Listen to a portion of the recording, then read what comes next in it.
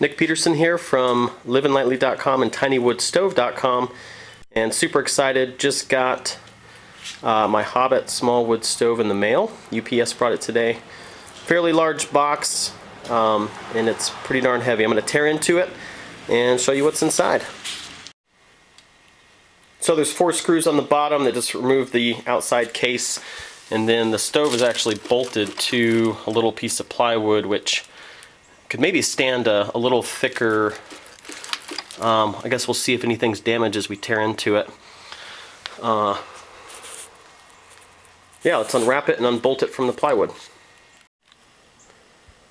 So got unwrapped here, got the bolts off. This little bugger is pretty heavy and uh, on this stove I got the direct air option which allows you to pipe fresh air, um, cold air into the stove so it's not drawing it from your space, making it all drafty.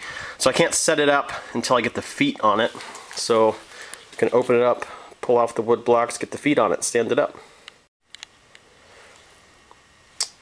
So got the the inside components out. They were all packaged pretty darn well and, and packed in there.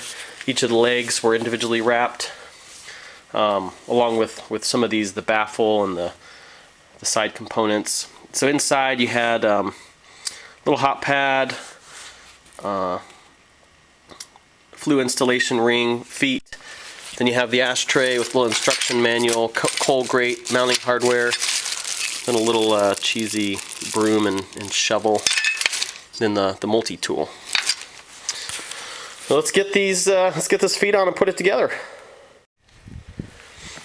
got the uh, four legs on.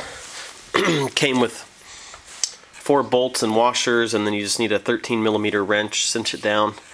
It also came with, which wasn't a part of the packing list, but uh, some mounting screws on the bottom of the feet to secure it. Then also came with some little spacers and bolts, longer bolts. I'm not really sure what those are for. Again, those weren't in the packing list.